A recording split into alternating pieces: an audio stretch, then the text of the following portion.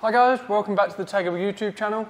Today we're joined with Matt Howard, some of you may know as Not Even That Fast. Would you like to say hello Matt? Hello. Today we are fitting a Zestek Racing steering wheel hub and Momo steering wheel to our FL5. Now, if you don't know about Zestek Racing, we've just become the sole European distributor of these. What are they? These are essentially something that allow you to fit an aftermarket steering wheel to your vehicle whilst retaining all of the controls that you could ever need. You'll see when we unbox it what it's all about, but mm-hmm. you can basically map all the buttons to do whatever you want, choose like the startup sequence, choose the colors. You can retain like your infotainment, which is amazing. So on the dials, you can retain like volume or cruise control, lights, horn. Mm-hmm. If you've got a bit of a sort of track day car or a race car. You can map in things like traction control, launch control, that kind of thing. Prices, this retails at £1,250. It's available on Tegiwa.com. This kit is specifically designed for the FL5, but there's other kits available for different cars, and mm-hmm. Zestek are continually developing more applications as we speak. You will also need the Boss that enables you to fit the wheel. This is £70, and you will also need an aftermarket steering wheel. Now, we recommend a 330mm OMP Targa, that's £195, but because we've got an FL5 and in keeping with the FL5 Type R theme, we've gone for a Momo. Obviously, it's kind of iconic with Honda as well, but crack it open. Yeah. We didn't want the yellow stitching uh, that comes with OMP. It doesn't really tie in. So we've got this lovely Momo wheel here. It's leather. We use a car and track a little bit, but it mainly gets used on the road. So we've gone for leather, but it's got the nice red stitching here. It's like the OEM one. They will be listed on Tegiwa.com soon. Shall we? I'll let yeah. you do the honours with this, Matt. Yeah, yeah, sure thing. Ooh, this one. So this one is a OEM hub. So this works with, you know, road cars, so to speak. Um, there's also a CAN hub one. So if you've got an older car or a race car, like Suki here, the CAN hub is the one that you want because that'll talk to like your aftermarket ECU. Is that right, mm-hmm. Matt? Yeah, that's right. So the good thing about these, if you remember, like you know, going back to the cars from the 90s, you know, DC2s, DC5s, things like that, there wasn't really anything on the wheel. There was only the horn. And even if you did have something on the wheel, it would be a, a you know dedicated bucket, buttons like circuit for that button. Whereas nowadays everything's on a CAN network, so everything talks to everything else.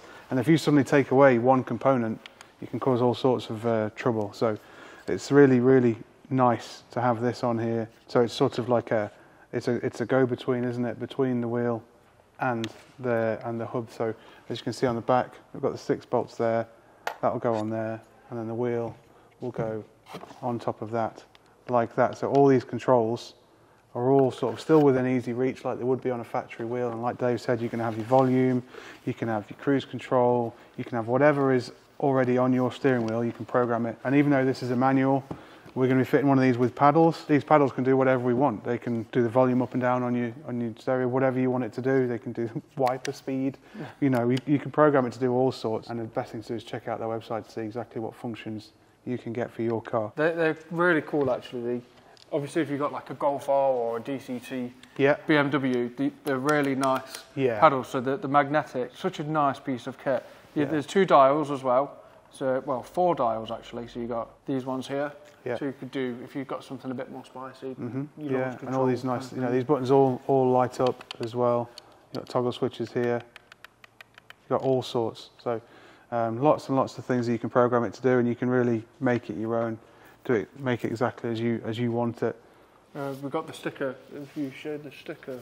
Yeah. So there's lots of bits here, so we can have up and down. We can have you know different color coded there. Put whatever you know, loads of symbols as to what they could be. You know, it's all designed so that you can just put it on however you want it. The best bit is that you can do it yourself. I guess if you're yeah that way like you know you've got a bit of knowledge of how mm-hmm. it goes together. All you need is a Windows laptop or computer. Mm-hmm. Um, yeah. It doesn't work with Mac, unfortunately. But yeah, it comes with its own dedicated software to map it all together. But yeah, we're going to put it on the FL5 now, mm-hmm. show you how it works. Yeah, really excited because. Yeah, then we'll customize it. Yeah, to actually run one of these, like get rid of the steering yeah. wheel, you, you lose all the controls. It's it's a big hassle with uh, you know you need some fancy can Yeah, uh, modifications and stuff. So yeah, it, it's it's really nice to be able to run these nice feeling wheels because you know I've got an M2 now and my, that wheel and that's really fat. Nice to fit these nice slender wheels that we you know I sort of grew up using. Nice to be able to have an option to do that now. The other good feature actually is anti-theft deterrent. Yeah, absolutely.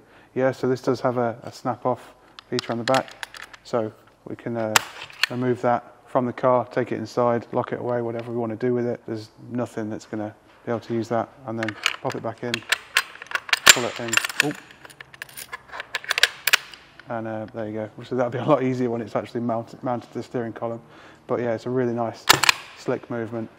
I- I'm going to sort of pass you over to Matt now because he's the brains of this outfit. he's going to do the fitting and talk you through that. Yeah, so first thing we're going to do, whenever we have an airbag off a car, we're going to disconnect the battery, leave that a good sort of 15, 20 minutes, or however long Honda recommend to, uh, you know, just to power down all the capacitors in that system. Because the last thing we want to do is unbolt something, and best case, put an, you know, an error code in. Worst case, have an airbag go off because it's pretty violent. So we're going to do that, and then we'll set about fitting it.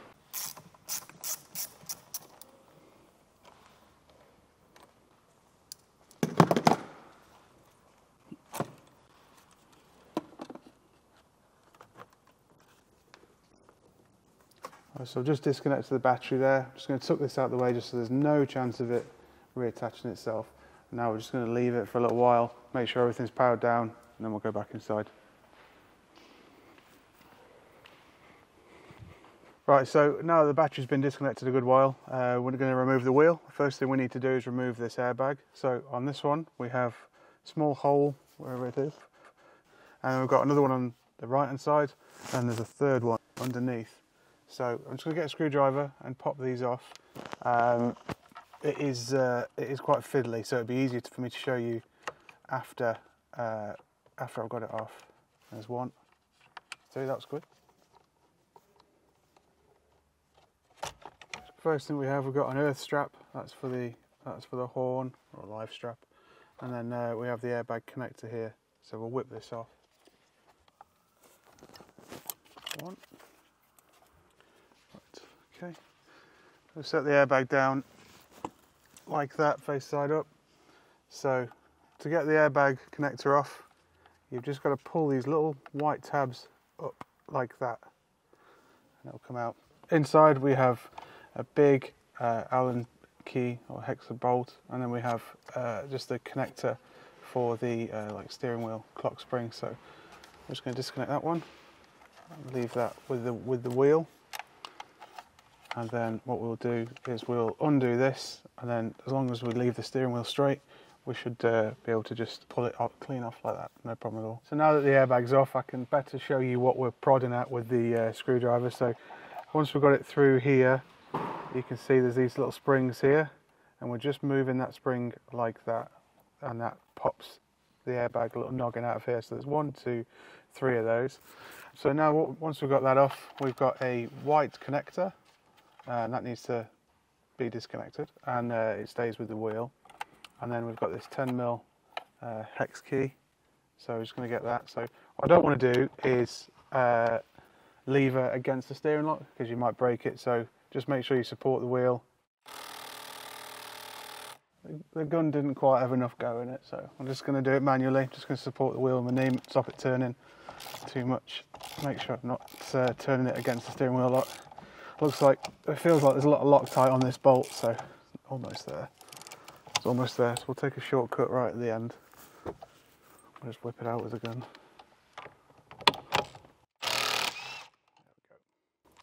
Yeah, loads of Loctite on that. Thank you, Honda. Okay, so what I'm going to do before I take anything off is I'm just going to grab a sharpie, is and I'm just going to uh, mark the wheel where it is now. We've got we've got two little reference points here, so I'll just mark at the same place as them, and I'll just pop the mark on uh, on there, so we know that point there is the top. But as I say, unfortunately,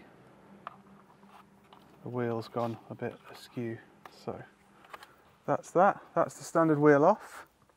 Now that the uh, original wheel's off, what we can do is we can fit this airbag blocker that's come with the Zestek kit. Nice little resistor there, that just pops into that like that. Um, doesn't seem to have a right and a wrong way around, so hopefully it just works like that. And we're also going to pop in this bit of wiring that came again with the Zestek kit. I'm just going to plug that in there. We're going to get the adapter and we're just going to feed both of those wires through here. So that one through, that one through, and we're going to pop it on. So I'm just going to use one of these bolt holes at the top to line it up with that black mark that I put on earlier on. There she goes. So now that we've got the hub in, we can put the bolt back in. Uh, we're going to use a new bolt and we're going to torque that to 36 foot-pounds.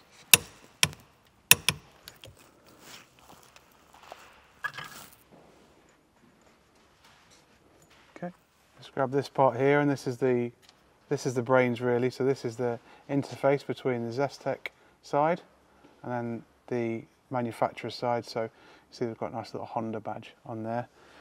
This just gets connected into here, like that. And then we can just tuck all of this away under here. And then we fit the Zestek adapter. Now we're going to put this bit on as well, this uh, sort of quick release adapter. It's important to know which way is up because you might fit it on thinking that that way is up, but it isn't. As you can see by the back of the wheel, that is actually at an angle like that. So when you put it in like that, it's this one here that's at the top. So we're going to make sure we get that the right way up. So plug that in there. And then what we're going to do is basically sandwich that middle piece there. Screw it in with the supplied Zestek bolts. So It's important to use the right bolts here because if we don't, what we might end up doing is when we go to put the wheel on, that might not be able to click down properly on top.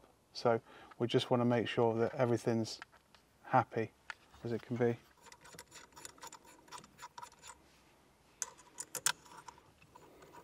What's nice is that Zestek also give us an Allen key to tighten these up.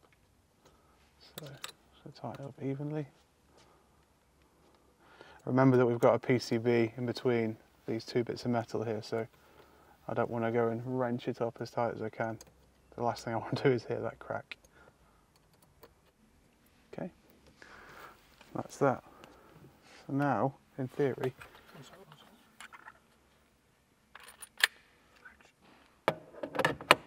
that is nice and secure. There is no no play in that. The only that that is just uh, the column hitting the, the steering lock. So the next thing we're going to do now is undo these bolts, put our Momo wheel on, that's us done as far as the install is concerned. Then we need to program it and uh, basically tell it what we want these buttons to do. Right, so now uh, off the car we can fit our wheel of choice, so I'm going with this Momo here. Now Zestek supply two lengths of bolts. It's important to make sure you use the right one because I'm going to put the one that's too long in here and we'll see what the problem is with that. Just loosely fit it because if we sort of zoom in on the uh, quick release mechanism here, you can see we're going to stop the uh, quick release before it's actually all the way through. So we want to make sure that we use this the shorter one for this wheel of choice. Uh, your wheel might need the longer ones. Just make sure you double check that before you fit all the bolts and get it into the car because it might not uh, might not fit.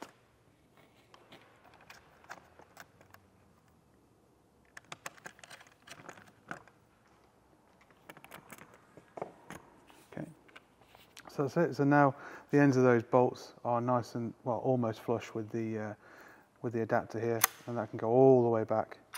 So now this is tightened up, ready to go on the car, and then we can program the functions to be what we want, stick our stickers on, whatever we want to do.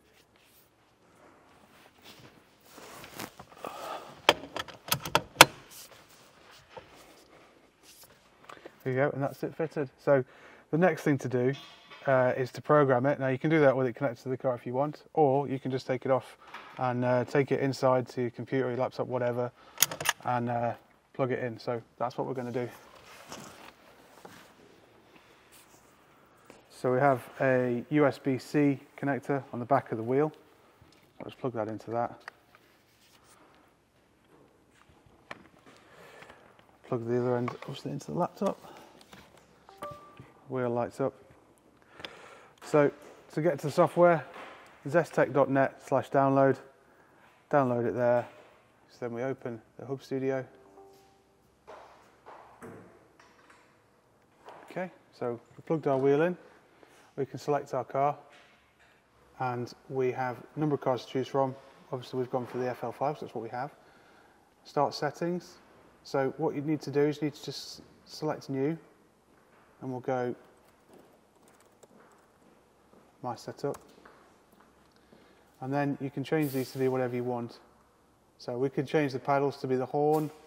Uh, we can change these buttons here to be volume up, volume down. And as well as that, we can change the colours. And if you watch the wheel, while you press the different colours, it changes. So, you know, you know exactly what it's going to look like once it's on the car. You can also choose your starting light effect. So when the Yep. car powers up, it can do fancy sequences to. Again, it shows you these sequences as you go. So there you go. There's more of like a fade up. Loads of different things you can do. I like that one. We'll leave that one. So I'm going to save that one. Just click save down here. So you can go through the whole wheel like that, setting all the controls exactly as you want them, setting the paddles exactly as you want them, everything like that. So it's fully customizable. And with that, that's the install complete. It's pretty foolproof, isn't it? Yeah. Wow. I'm a bit of a dummy, and Matt's made that look easy. Like, No, that was really no harder than fitting any aftermarket wheel. Probably easier because you don't have to mess about. The connectors are really nice and slick. The airbag, block off, everything like that's really, really good. yeah, like when we first came in, I thought, well, you're going to have to take that to a specialist. But, like, you just need to watch this video and you'll be able to do it. And this is amazing. Yeah, very, Right. very easy. Yeah. And the good thing is you can try it. Like, you don't need to go back to Yeah. your mate who's fit it. That's you it. just download it. Um, the other pretty cool thing is if you buy one of these and you have, say, two cars, you only need to buy, like, the car and stuff again. And then you can just have one wheel, one setup, put it on that car, and go that in that car, put it there, and your wheels and your layout, button layout, is exactly the same. Yeah, that's right. It would be great, you know, if you've got a road car and track car, whatever. They're similar. They don't even have to be the same make, or, you know, whatever. They, you know, will transfer over the uh, the button layout, which is nice. And then we can just unplug the wheel and put it back on. The nice thing about it as well is if you want to if you want to make some quick changes and see what it's going to be like, you can leave the car with the ignition on, you can leave it running, you can just disconnect this because all the car is talking to is that interface that we sandwiched between the boss, uh, between the wheel hub and the and the boss. So you don't need to worry about pulling the wheel off and having an airbag light on or something like that. Okay, we'll just start this up. Okay, so we should have volume up and volume down once the audio system kicks in. We do have, and as well as that, once we've done, once we're happy with our layout, you can have a play with it. And it comes with all the stickers you can pop on there, you know, just so you're absolutely sure what button does what. Turn this up. Turn it down. There we go. Okay, that's it. We're all done. And then yeah, with the added security of taking the wheel with you wherever you want to go. You know, if you've got long legs or whatever, you struggle to get around the standard wheel. Loads of benefits to it.